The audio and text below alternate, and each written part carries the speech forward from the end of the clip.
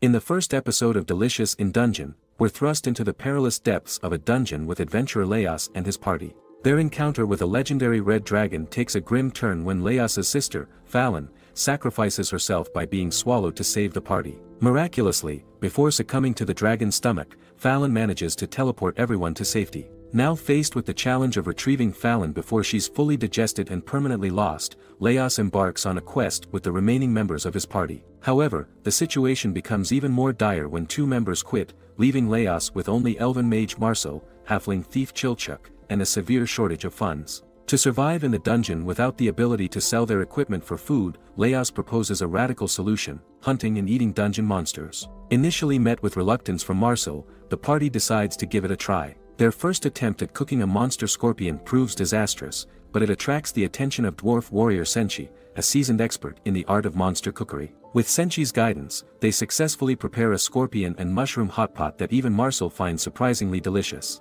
Senshi, intrigued by the party's quest to find the red dragon, decides to join them, fueled by the prospect of indulging in the dragon's meat. As they delve deeper into the dungeon, the party camps for the night, and Senshi takes charge of preparing supper. He surprises them with a tart made from the fruits of giant carnivorous plant monsters, showcasing his culinary skills in the unconventional world of dungeon delicacies. And that's it for this episode, stay tuned for more. Thanks for watching.